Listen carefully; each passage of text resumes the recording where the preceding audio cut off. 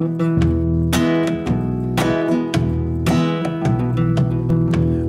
the streets of old Milwaukee was a young boy walking. It was said by the men Cześć, witają się z Wami Adam Michalik. i Wojtek Kowalik. Spotykamy się kolejny raz, e, żeby troszeczkę porozmawiać o Bucks. Dzisiaj będziemy chcieli podsumować cały ten ubiegły sezon, powiedzieć parę słów e, na temat tego, w jakiej sytuacji kadrowej Bucks są teraz i jak ta sytuacja może wyglądać e, za miesiąc czy dwa. Generalnie przegadać sobie kilka aktualnych spraw, także zapraszamy do odsłuchania. Cześć Adam, spotykamy się po dłuższej przerwie. Wreszcie udało się zsynchronizować czas wolny i przy chwilę znaleźć chwilę, żeby y, porozmawiać i tak naprawdę chyba podsumować sezon w wykonaniu Milwaukee, więc pierwsze pytanie, które od razu się nasuwa, czy według Ciebie sezon udany, nieudany, jednak czujesz jakiś zawód, czy no, na miarę oczekiwań? Wiesz co, no według mnie, pomimo takiej końcówki, która może jakiś niedosyt zostawić, to jest poziom nawet więcej niż udany. Jeśli przypomnisz sobie nasze rozmowy na początku sezonu, to my tak obstawialiśmy Milwaukee w okolicach e, czwartego miejsca, e, stawialiśmy, że Milwaukee będzie się biło o przewagę parkietu, natomiast no Bucks, patrząc na cały sezon regularny, no to, to, to mieli naprawdę historyczne osiągnięcie i przekroczyli te oczekiwania e, naprawdę znacząco, więc jakbyśmy podsumowali cały sezon i porównali go z tym, co oczekiwaliśmy, to myślę, że spokojnie możemy powiedzieć, że to jest poziom czy dwa ponad to, czego się wszyscy po Milwaukee spodziewali. Z jednej strony tak, z drugiej to jednak te oczekiwania chyba w trakcie sezonu rosły, bo z każdym krokiem było, można powiedzieć, coraz lepiej. Ja mogę po sobie powiedzieć, że czekałem gdzieś na moment, w którym to jednak e, ta drużyna Bucks zostanie sprowadzona na ziemię i, i drużyny zaczną się już dostosowywać do tego systemu Budenholzera. Tak to nie nastąpiło, no i w sezonie zasadniczym był najlepszy bilans. Dla mnie no, czuję jednak trochę zawód. Była chrapka na, na finał i, i ja też obstawiałem, że, że jednak Milwaukee z Toronto sobie poradzi. No ale drużyna z Kanady pokazała naprawdę bardzo fajną koszykówkę i no, jest nowym mistrzem. Tak, i to wiesz, no mistrzowi trzeba, trzeba oddać królowi to, co królewskie. Niemniej jednak, jak przypomnisz sobie przykład trzeci mecz, w którym Milwaukee było o jedną czy dwie decyzje rzutowe e, od prowadzenia 3-0 i może o parę decyzji sędziowskich, ale to jest zawsze takie troszkę śliskie, no to, to wiadomo, że ten niedosyt może być. Natomiast ja myślę, że to są takie playoffy, które, które muszą przyjść, e, zanim zrobisz coś dużego. Popatrz, że Toronto też kilka razy musiało kolokwialnie mówiąc zebrać w czapę, żeby, nie wiem, no nie wymięknąć na przykład w siódmym meczu z Filadelfią, czy żeby móc odwrócić e, całą serię e, z Bucks. I myślę, że, że, że Bucks powinni potraktować te playoffy jako, jako nauczkę, jako doświadczenie i wierzę, że, że o ile jakoś mocno się ten skład nie pozmienia na gorsze, to są w stanie dojść przynajmniej tam, gdzie byli w tym roku. I ten przyszły rok, no nie powinien być zły. I tym razem myślę, że te nasze apetyty nie, nie tyle będą rosnąć w miarę sezonu, co już przed sezonem będą dosyć mocno rozbudzone. No właśnie, bo e, doświadczenie bardzo cenne, już tutaj o off-season, bo w zasadzie już można się na tym skupić. To jakie tutaj ruchy kadrowe, no wiadomo, że priorytetem będzie utrzymanie dotychczasowego składu. No jak ty to widzisz? Jest szansa na utrzymanie wszystkich wolnych agentów, bo trochę ich e, w szeregach Milwaukee jest. Na wszystkich myślę, że szans nie ma. Z kogoś jednak trzeba będzie rezygnować. Ja myślę, że Milwaukee w tej chwili skupiają się na tym, żeby utrzymać pierwszą piątkę w tym kształcie, w którym ona jest. Już się pojawiły jakieś doniesienia o tym, że, że chętnie Milwaukee by się pozbyli Tonego Snella, co ja uważam za bardzo fajny ruch. I Ersana Eliasowy, co uważam za ruch trochę mniej fajny, natomiast no, zdaję sobie sprawę, że no, sam zespół, jeśli chodzi o finanse, potrzebuje jak największej elastyczności. Myślę, że trochę ta sytuacja jest łatwiejsza przez to, że już sobie zaklepali w trakcie sezonu Erika Bledsoe, do którego ja jeszcze wrócę, bo, bo, bo mam jedno pytanie i jedno przemyślenie. E, Natomiast tak, no wiadomo jest, że, że trzeba będzie ostro powarczyć o Chrisa Middletona, który od dawna było wiadomo, że jest dość łakomym kąskiem dla wielu zespołów. On między innymi dla Lakers w pewnym momencie był taką opcją rezerwową i myślę sobie, że, że w tym momencie, w sytuacji jaką mamy, kiedy kontuzjowany jest Durant, kiedy kontuzjowany jest Clay Thompson, to Chris Middleton może być opcją taką rezerwową dla kogoś, kto już będzie chciał ściągnąć e, wolnego agenta, który no, realnie poprawi mu pierwszą piątkę. Takie doniesienia też się co jakiś czas pojawiają i, i, i to pojawiają się z różnych stron myślę, że i Middletonem i, i Brogdonem zainteresowanie będzie duże. Dla mnie pierwszym nazwiskiem, które tak naprawdę można skreślić z planów, wydaje mi się, że jest Nikola Mirotic. Ofiara trochę salary cap i, i, i tych wysokich kontraktów, które trzeba będzie podpisać i, i z Brogdonem i z Middletonem, znaczy może inaczej, Bucks będą chcieli podpisać, a, a czy podpiszą, no to zobaczymy, bo to wydaje się, że zwłaszcza tych dwóch zawodników e, budzi dosyć duże zainteresowanie w lidze. No i oni do wielu drużyn na pewno bardzo fajnie by O dziwo mało się dosyć mówi o Bruku Lopez Lopezie, który zagrał fenomenalny sezon i w jego kontekście gdzieś tam się y,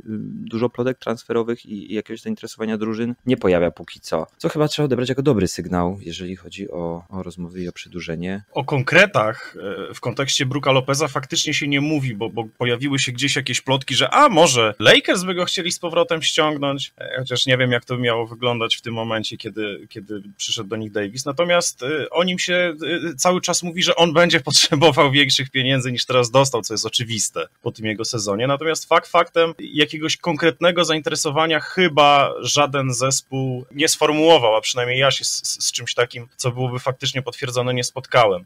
Natomiast jeśli chodzi o Brogdona, to w zasadzie co dzień czy co dwa pojawia się jakiś team, który jest realnie nim zainteresowany. Dosłownie, nie wiem, dwie czy trzy godziny temu na Twitterze mignęła mi jakaś informacja, że być może jeżeli na przykład Filadelfia nie będzie w stanie zatrzymać Butlera, to, to będzie e, zerkać w stronę, w stronę Brogdona i nie wiem na ile można gdzieś tam czytać z takich znaków pisanych na wodzie, e, no ale tak, e, Chris Middleton Podobno przeprowadził się ostatnio do domu na obrzeżach Milwaukee, dosyć dużego, co być może coś znaczy, a być może nie znaczy absolutnie nic. Brook Lopez zaraz po końcu sezonu w którymś z wywiadów powiedział, że on e, bardzo chciałby zostać w Milwaukee, bo gra mu się to świetnie. Natomiast jeśli chodzi o Brogdona, to on się wypowiadał jak na razie bardzo e, oszczędnie i bardzo enigmatycznie, co być może wynika z jego charakteru.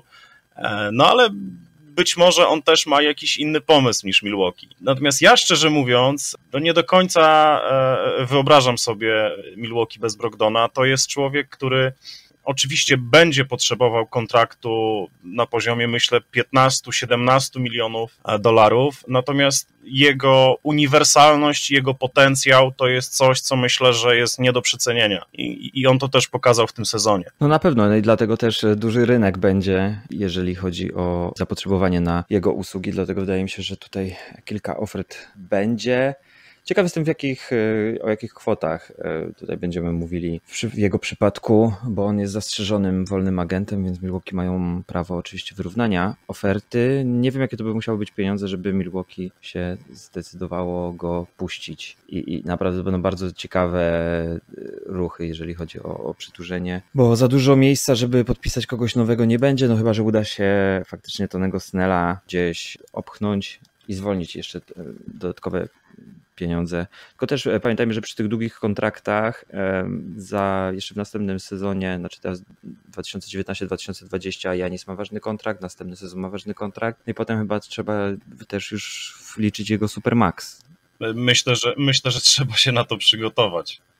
A dzisiaj nawet widziałem taka ciekawostka też, pierwsze się pojawiły typowania bookmacherów i, i tam kursy bookmacherskie na MVP w przyszłym sezonie. No i Janis jest faworytem. Już. Wiem, że to jest bardzo wcześnie jeszcze składy nie są gotowe i, i, ciężko gdzieś tam prorokować wyrokować, no ale też to świadczy o tym, że osoby, które e, dokładnie to wszystko analizują i, i, jednak trochę się na tym znają, jak widzą jego, jego rolę i potencjał na, na ten sezon 2019-2020. Wiesz, no jeżeli ktoś patrzy na jego progres, który on robi w przeciągu kilku lat i, i, i na jego podejście gdzie no, co, co lato okazuje się, że, że on wraca do sezonu lepszy e, i, jeszcze bardziej dominujący, to, to, to, to myślę, że to typowanie nie jest zupełnie e, wyssane z palca. Ilość rzeczy, która się może jeszcze po drodze wydarzyć, jest, e, jest ogromna. Wracając jeszcze do, do, do samego składu na przyszły sezon, jeśli chodzi o Milwaukee, Pamiętaj, że Milwaukee mają jeszcze możliwość e, no, żonglerki tak zwanej z George'em Hillem. E, George Hill na przyszły rok ma zagwarantowany tylko milion dolarów i, i ten transfer, który był wykonywany wtedy, on tak nam się wydawało i tak mi się chyba wydaje nadal, by był zrobiony właśnie po to, żeby w razie czego móc tą elastyczność uzyskać. Natomiast szczerze mówiąc, po tym, co, co, co Hill pokazał pod koniec sezonu i pokazał w playoffach, to ja naprawdę bardzo poważnie się zastanawiam, co z nim zrobić bo, bo z jednej strony on był naprawdę w playoffach bardzo przydatny e, i, i, były takie momenty, kiedy on wręcz ciągnął zespół za uszy, natomiast no, z drugiej strony płacić, nie wiem, no 18 milionów rezerwowemu rozgrywającemu, to jest chyba nawet więcej niż rozrzutność.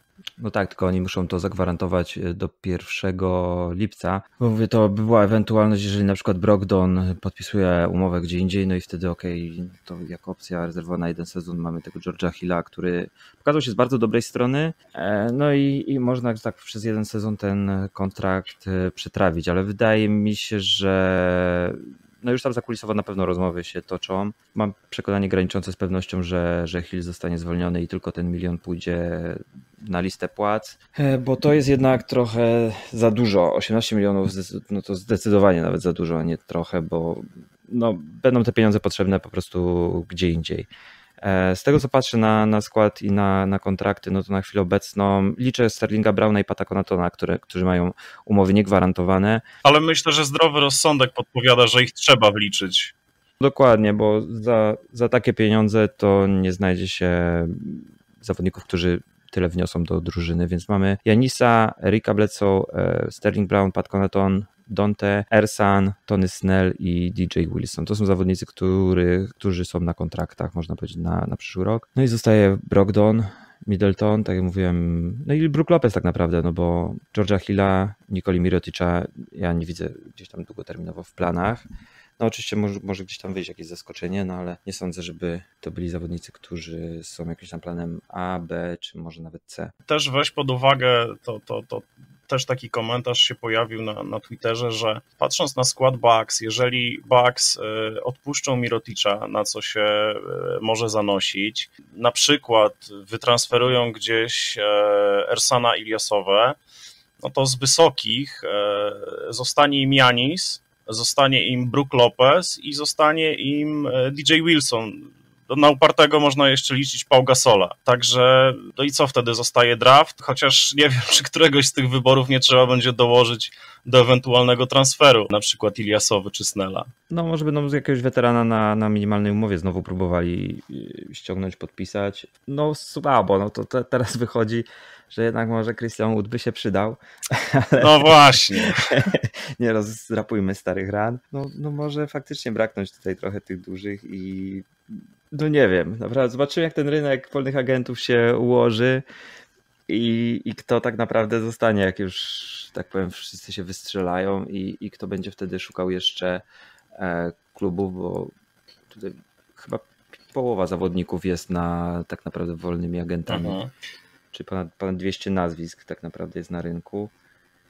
To jest sporo. No wiadomo, że jeszcze tam dochodzą też nowe, nowe twarze, nowe nazwiska. No można w trakcie sezonu czekać znowu na jakieś, wiesz, buyouty i, i wtedy ewentualnie kogoś próbować ściągnąć, no tylko to jest trochę już ryzykowne, no bo możesz czekać, czekać i, i, nikogo nie trafić. No musimy, musimy poczekać na, na ruchy e, front office Johna Horsta. Póki co zdobył spory kredyt zaufania, pokazał, że wie co robi, więc no tak, ja, ja wiesz, też myślę sobie, że to, to, to jest naprawdę y, y, abstrakcyjnie daleko od tego, co ja sądziłem powiedzmy na początku sezonu i, i, jakbym sam siebie posłuchał, e, mówię, będąc ze stanem swojej wiedzy na początku sezonu, tego co mówię teraz, to pewnie bym się za głowę złapał. Ale ja myślę, że spokojnie y, DJ Wilson może dostać większe minuty niż dostawał w tym sezonie. Że on, on w trakcie sezonu pokazał, że, no, że jest gotowy na, na, na, na to, żeby może nie tyle zagrać w pierwszej piątce, ale co spokojnie być e, no, jednym z kluczowych graczy z ławki. też mamy przekrój całego sezonu i e, no, odpukać na pewno trafią się jakieś urazy mniejsze czy większe. Rozumiem uniwersalność pewnych graczy, którzy są w, w rosterze Bucks, ale no pewnych dziur nie da się zakleić, choćby ze względu na brak wzrostu w pewnym momencie. E, I tak jak mówię, jeżeli zostanie, e, nie wiem, Janis, DJ Wilson, Brook Lopez i, i koniec, jeśli chodzi o graczy wysokich, no to robi się kłopot. I to taki niemały. No i kłopot jeszcze będzie, jeżeli braknie pieniędzy albo pojawi się jakaś szalona oferta dla Bruka Lopeza, no bo to może być już wtedy bardzo duży kłopot. A y, powiedz mi, bo no, okej, okay, no Chrisa Middletona można wpasować y, do wielu zespołów, do, do pewnie jeszcze większej ilości można wpasować Brogdona, ale patrząc tak realnie na, na, na obecną NBA, czy, czy widziałbyś jakiś zespół, który faktycznie przy swoim stylu gry mógłby być zainteresowany Brookiem Lopezem? Oj, wiesz co, no to wszystko będzie zależało od tego, jak e, najpierw te większe nazwiska, e, jakie decyzje podejmą, bo jeżeli na przykład Kawhi poszedłby do Clippersów, no to myślę, że on byłby, Brook Lopez byłby bardzo tam fajną opcją u boku E, na pewno kilka drużyn by skorzystało, no zależy jak te, te składy się e, poukładają i jak to wszystko, wszystko będzie wyglądało. No, znaczące jest to, że, że faktycznie tych plotek odnośnie Bruka Lopeza się jeszcze póki co mm, nie słyszy. I nie wiem tak naprawdę, czy to jest uspokajające, czy, czy trochę powinno nas e, jednak niepokoić, że może gdzieś tam zakulisowo coś już jest dogadane i, mm, i na przykład teraz właśnie szukanie chętnego na, na kontrakt Tonego Snella, czy, czy szukanie jakiejś tam opcji, to jest e, ruch też ze strony Bucks, żeby znaleźć jeszcze dodatkowe pieniądze właśnie na, na Bruka i, i przebić jakąś ofertę, którą gdzieś tam ktoś już może zakulisowo mu obiecał. Nie wiem, no naprawdę trochę to jest wróżenie z fusów i sporo pytań i, i, i mało odpowiedzi tak naprawdę jeszcze póki co mamy na, na tym etapie. Dokładnie. A, e, a to jeszcze jedno pytanie z mojej strony odnośnie szklanej kuli. E, no, plus minus wiemy, na co może liczyć Brook Lopez, plus minus możemy zakładać, na co, na co liczy Malcolm, Malcolm Brogdon. To teraz w jaką wysokość kontraktu celowałbyś, jeśli chodzi o Chrisa Middletona?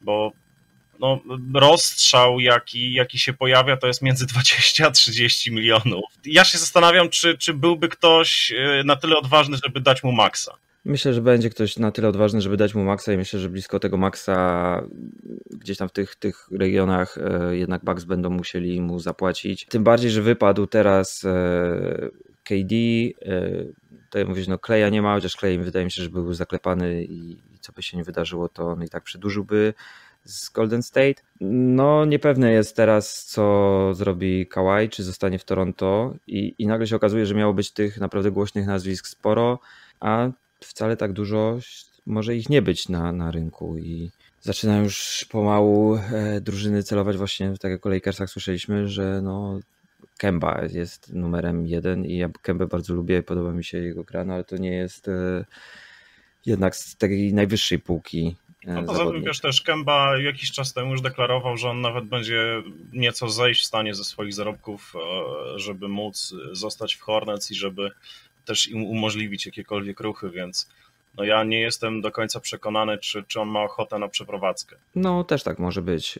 Tam jest dosyć mocno związany z Charlotte i e, z całą tą społecznością bardzo mocno się tam udziela i no, też nie zdziwiłoby mnie, naturalnym by chyba było, gdyby, gdyby on został. No i dla tych drużyn z tych małych rynków e, no to te supermaxy są trochę strzałem w stopę, co, co już kilka przykładów e, nam pokazało, mieliśmy.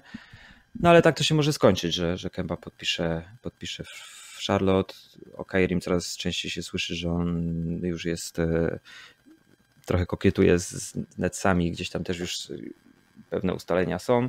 Więc może być tak, że właśnie na Chrisa e, ktoś te pieniądze będzie miał i będzie chciał przeznaczyć, no i, i tutaj właśnie Bucks będą musieli chcąc, nie chcąc, e, właśnie taką umowę zaproponować. Też pamiętajmy, że przez tak salary cap jest skonstruowane, 30 milionów wyłożone teraz na Chrisa Middletona, to nie jest tak, że te 30 milionów można wyłożyć na kogokolwiek innego, bo to jest zawodnik, który jest w klubie i dzięki temu można przekroczyć salary cap, a, a to nie jest tak, że te pieniądze Jasne. są do wykorzystania gdziekolwiek. Okej, okay, to ja na koniec, jeśli chodzi o, o, o, pieniądze i o kontrakty, mam, mam tylko jeszcze jedno pytanie, e, którym myślę, że sobie zamkniemy tą, tą część. E, jakiś czas temu, powiedzmy dwa czy trzy nasze spotkania temu, kiedy rozmawialiśmy o Eriku Bledsoe, e, no, oceniliśmy te jego zarobki i ten transfer y, pozytywnie. Ja szczerze mówiąc, pozytywnie y, cały czas y, oceniam to, kiedy to się stało, w jaki sposób, w tym kontekście, że Milwaukee ma pewne rzeczy ustalone. Natomiast szczerze mówiąc, no Eric Bledsoe znowu mnie nieco rozczarował, jeśli chodzi o playoffy i trochę się zaczynam zastanawiać, czy powiedzmy za te 2-3 lata on przy zarobkach, tam on ma w sezonie 21, 22, 18 milionów, rok później 19. Jeśli on nie przekroczy pewnego, pewnego poziomu i pewnej chyba bariery, bo, bo, bo nie wiem, czy, czy, czy tej jego gry playoffach e, w drugiej, trzeciej rundzie to, to nie można już nazwać jakąś barierą, no to czy to nie będzie przypadkiem zawodnik do wytransferowania? No słabo to wyglądało. Ja tak nawet momentami sobie myślałem, że jakby tylko można było robić hokejowe zmiany i on po akcji obronnej przybijałby piątkę i zbiegał, a szybko George Hill by wbiegał za niego, to byłoby to idealne rozwiązanie, bo w obronie jeszcze, jeszcze się bronił, ale były momenty, gdzie można było powiedzieć, że nie, nie powinien być w ogóle na parkiecie. On podejmował strasznie, strasznie dziwne decyzje w ataku. On czasem odpuszczał czyste pozycje, czasem rzucał e, w kontrze z jakichś takich pozycji naprawdę bardzo nieoczywistych. Nie wiem, no jakoś jakby mu głowa na te mecze nie dojeżdżała momentami. Chyba mamy do czynienia z takim gościem, z jednym Erikiem Bledsoe w sezonie regularnym, a z drugim w playoffach jednak jest cały czas bardzo, bardzo mocnym obrońcą. I tu nawet jeżeli Milwaukee by potrzebowało, ok, w playoffach się nie sprawdza, to, to myślę, że zawsze się chętny znajdzie na ten kontrakt, bo to nie jest taki kontrakt, który, e, którego nie można gdzieś tam przesunąć i, i, i z kimś się wymienić, tak mi się wydaje. A jeszcze ten ostatni rok, tak mówię, to jest ponad 19 milionów, ale tam na szczęście jest niecałe 4 miliony gwarantowane, więc tutaj też Milwaukee sobie zapewniło dosyć e, fajnie elastyczność, jeżeli chodzi o tą umowę. Uu, no, słabo to wyglądało w tych playoffach. To trzeba, to trzeba przyznać, że o ile właśnie sezon zasadniczy to było wow i to duże wow i, i stąd też właśnie moje zachwyty nad tym kontraktem, że, że naprawdę w fajnych pieniądzach jest e, mocny rozgrywający, mocny punkt drużyny no tak te playoffy, no nie ukrywam, były momenty, że zastanawiałem się, czy jednak ta umowa, tak jak mówisz, nie, nie okaże się trochę dla Milwaukee ciężarem. Nie wiem, co z tym Erykiem zrobić bo mam, mam, mam nadzieję... No na razie chyba trzymać chyba, jednak, bo nie bardzo no, jest inne wyjście. Wydaje się, że tam dużo, dużo w głowie siedzi, bo też takie wrażenie się zastanawiałem, czy w ogóle czemu on tak momentami długo gra i czemu pomimo tych, tych fatalnych decyzji, które podejmował, jakichś dziwnych zagrań, Bat go nie zmieniał, ale myślę, że chyba wtedy kompletnie się gdzieś tam wpalił Bleco, jeżeli by nie wiem, tak jak Mirotysz w ostatnim meczu zaliczył brak w ogóle jakiegokolwiek występu, tylko przesiedział cały mecz na ławce, no to, to mogłoby to by na przyszłość dla niego faktycznie mieć jakieś, jakieś kosmiczne fatalne skutki. Zobaczymy. No ja myślę, że w przyszłym sezonie e, Milwaukee będą potrzebowali rozgrywającego, który no nieładnie mówiąc nie, nie zmiękną mu nogi w playoffach, bo, bo, bo, bo w sezonie regularnym pewnie jakoś yy, nawet bez, bez Bledsoe na takim poziomie Milwaukee by sobie poradzili, natomiast no przychodzą playoffy, przychodzi troszeczkę inna gra, trochę inaczej rozłożone minuty, trochę inaczej broniący przeciwnik, no i i o ile na przykład świetnie się sprawdził George Hill, o tyle no, tak jak mówisz, Bledsoe miał takie chwile, gdzie, gdzie faktycznie wydaje się, że, że powinien być wcześniej zmieniony. Ja myślę, że to jest troszkę jeszcze e, e, też mały, mały przytyk w stronę Mike'a Badenholzera, bo no było, nie było, widząc co się dzieje, myślę, że można było trochę inaczej gospodarować minutami na boisku. E, ja też, e, były takie momenty, kiedy właśnie nad Miroticzem się zastanawiałem, co on co on robi i, i, i, i czy powinien e, tyle minut dostawać. Mm, natomiast no, teraz każdy jest mądry, prawda? Po, po, po, po przegranej serii. Pewnie inaczej się na to patrzyło z poziomu parkietu. Możemy sobie gdybać, co by było, gdyby się, nie wiem, gdyby jeden grał więcej, drugi grał mniej.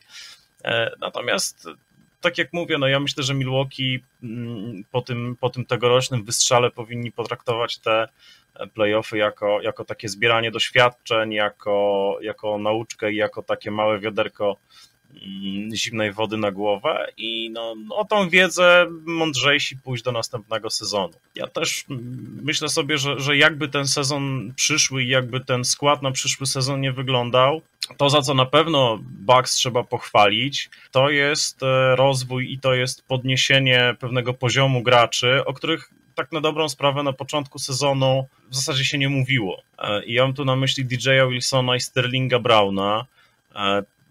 No, DJ Wilson, jeżeli o nim wspominaliśmy, to głównie w kontekście jego zabawnej fryzury. Sterling Brown gdzieś tam się obijał o G-League. Żaden z nich tak naprawdę nawet nie ściągał dresów e, w trakcie meczów. Natomiast oni w trakcie sezonu stali się jednymi z, z, z bardziej wartościowych zmienników. E, I ja myślę, że to też jest coś, na czym, na czym tą ławkę warto budować. Są fajne, e, fajne perspektywy przed, przed nimi, przed tymi dwoma zawodnikami. Z dobrej strony pokazał się też Pat Conaton, którego też gdzieś tam przed sezonem i nawet w trakcie nie do końca ja przynajmniej widziałem jako zawodnika, który, który pokaże się z tak dobrej strony, jak, jak, jak się pokazał faktycznie momentami. Pod kątem przyszłości, tak właśnie, no, tych trzech zawodników, no i na pewno bardzo budujące jest to, że tam jest bardzo dużo chyba sportowej złości po tych e, finałach e, konferencji wschodniej. Te wypowiedzi Janisa, które, które można było przeczytać po e, finałach, że on teraz wie, co ma robić, że musi pracować jeszcze ciężej, że to nie jest tylko kwestia tego, że on musi się nauczyć rzucać, tylko po prostu musi, jest kilka elementów, które on wie, że musi poprawić, żeby być jeszcze lepszym zawodnikiem i żeby taka sytuacja w przyszłym roku się nie przydarzyła. Więc jest, no trzeba z optymizmem patrzeć na pewno w przyszłość, bo doświadczenie bardzo cenne bolesne, ale, ale myślę, że e, odrobią lekcję gracze Milwaukee i cały, cały team i, i, i w przyszłym roku to na pewno zaprocentuje.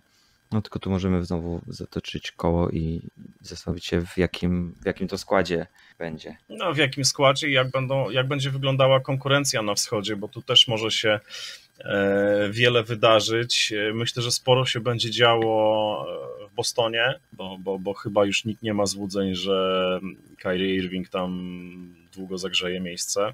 Sporo się może dziać w Filadelfii. No, kluczowa decyzja jest jeszcze do podjęcia, jeśli chodzi o Kawaja w Toronto. Więc tak na dobrą sprawę, w zasadzie każdy z tych, z tych czterech topowych zespołów na wschodzie może być naprawdę na początku tego przyszłego sezonu przemeblowany, więc ja myślę, że na jakieś takie prognozy to jest jeszcze dużo, dużo za wcześnie.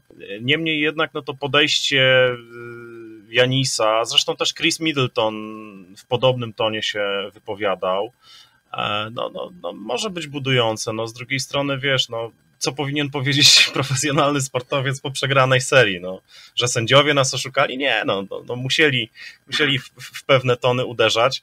Natomiast tak czy inaczej, y, to myślę, że z ust Janisa to jest y, dosyć y, szczere, bo, bo, bo nie od dzisiaj wiadomo, że to jest gość, który mm, ma takie, a nie inne nastawienie do, do treningów, do uprawiania sportu i no myślę, że w ciemno można założyć, że, że on to lato naprawdę bardzo solidnie przepracuje.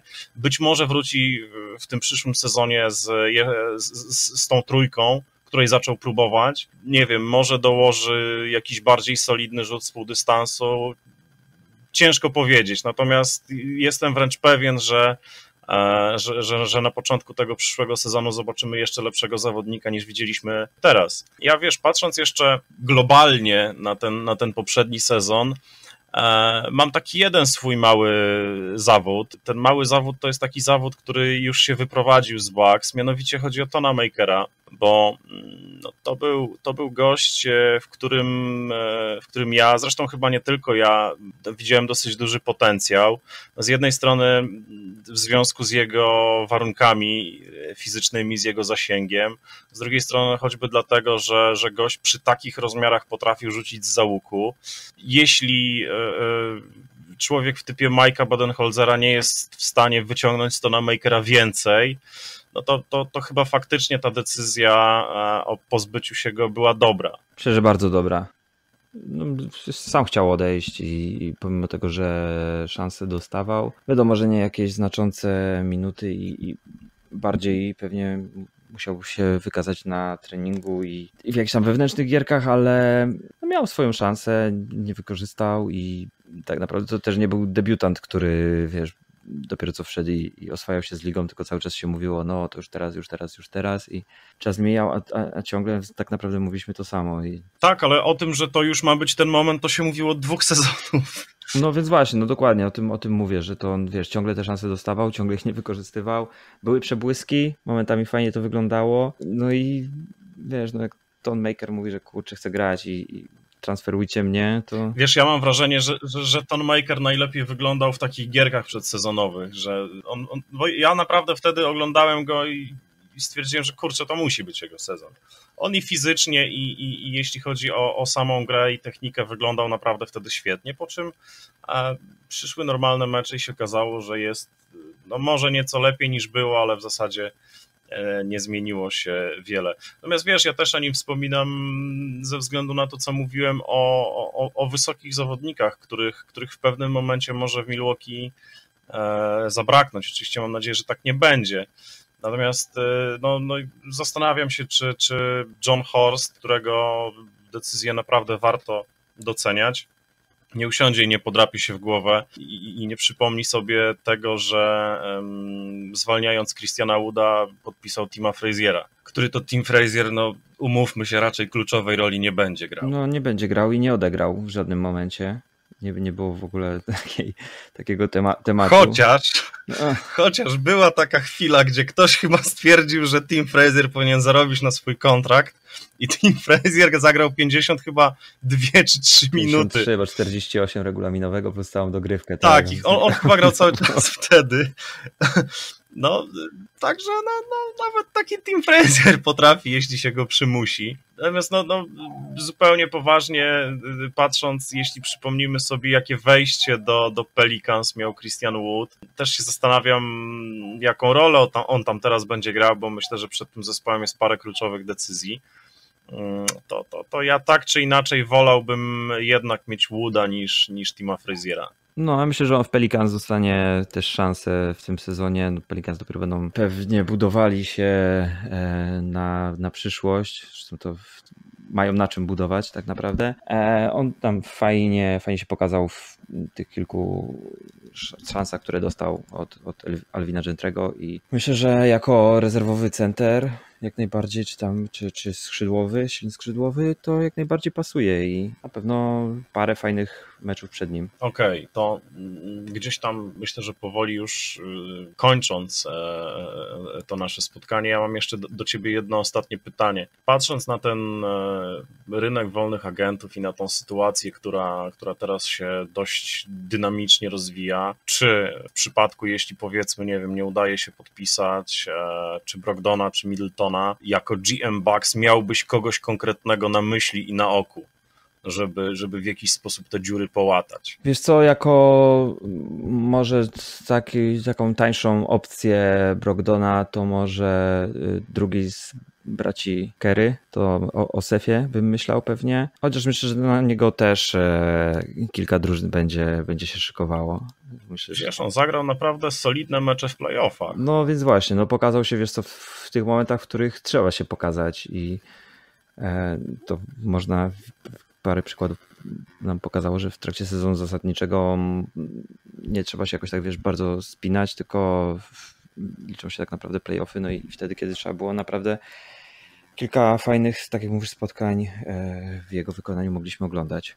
Portland miało z niego spory pożytek. Tak więc myślę, że tutaj też zainteresowanie będzie, no ale jednak myślę, że niższe oferty w jego kierunku polecą niż w stronę Brogdona. Chociaż, no, może się ktoś znaleźć, kto, kto mu tam będzie chciał przepłacić. Teraz zamiast Chrisa, mm, nie wiem. No powiem ci szczerze, że, że nie, nie wiem. No to jest druga opcja i, i zaraz po Janisie też w wielu momentach on się bardzo fajnie pokazał i ratował skórę Milwaukee. Ciężko, no to wiesz, to już mówimy o takich zawodnikach za rzędu tam 25-30 milionów. A ty kogo masz?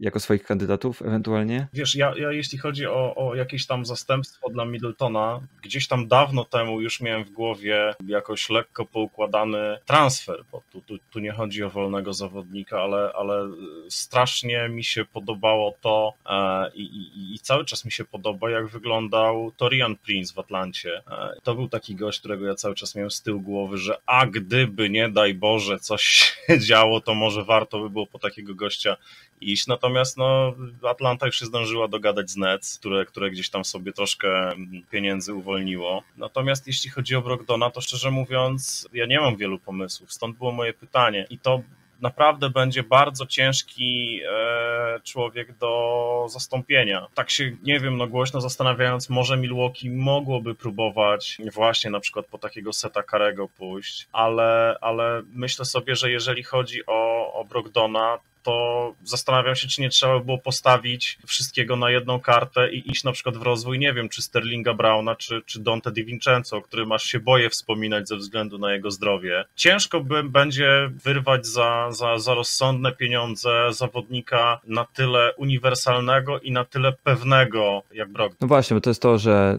y, to jest tak naprawdę marzenie chyba każdego trenera. To jest zawodnik, który co mecz, y, wiesz co, czego możesz się po nim spodziewać. To nie jest tak, że wiesz, że on zaliczy ci jakieś kapelucha na trzy punkty w spotkaniu, tylko mecz, mecz w mecz po prostu jest, jest strasznie solidny i wiesz, wiesz co on po prostu oferuje i, i co, on, co on zagra, co on ci dostarczy, tak? Punktowo i w obronie. Strasznie równy i bardzo solidny zawodnik, więc dlatego myślę, że zainteresowanie nim będzie to co mówiliśmy wcześniej, bardzo duże. Mm, a tu czy Brogdon, czy Brook Lopez, czy Chris Middleton, jeżeli którykolwiek z nich miałby odejść, no to jest bardzo duże osłabienie, bo ciężko będzie znaleźć wartościowego zmiennika, wartościowe zastępstwo za któregoś z tych zawodników. Strata któregokolwiek z nich jest na tyle dużym osłabieniem, że no ciężko będzie sprostać pewnie tym oczekiwaniom, które się teraz pojawią, że drużyna, która grała w finale konferencji wschodniej, no to okej, okay, zdobyliśmy to cenne doświadczenie, więc teraz w co celujemy? No pewnie w finały, tak? Jaka strata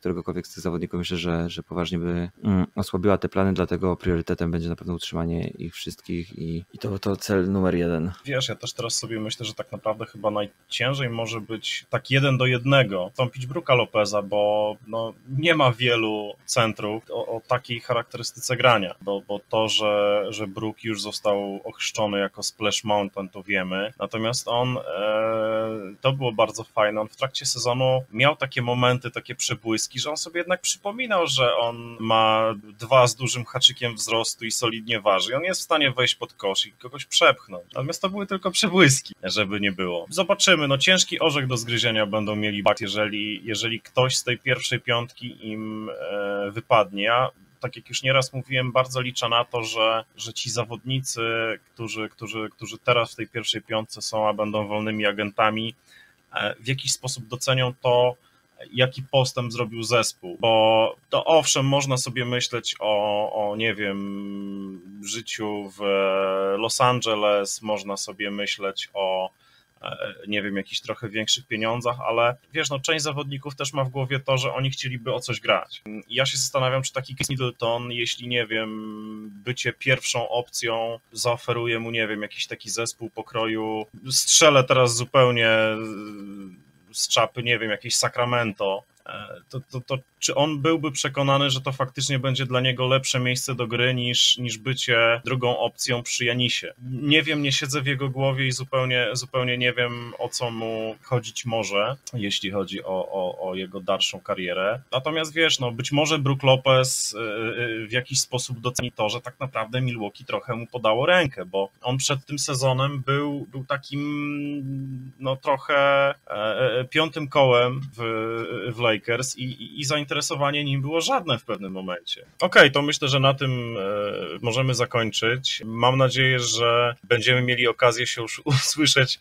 chociaż nie wiem, który raz to mówię, że będziemy mieli okazję usłyszeć się po, po nieco krótszej przerwie niż poprzednio. Być może skłonią nas do tego jakieś e, ruchy kadrowe, które się będą działy. No i co? I to by było na tyle. Dzięki za, za nagranie i dzięki za naprawdę bardzo dobry sezon. Tak jest, dziękujemy bardzo i do usłyszenia. Do usłyszenia.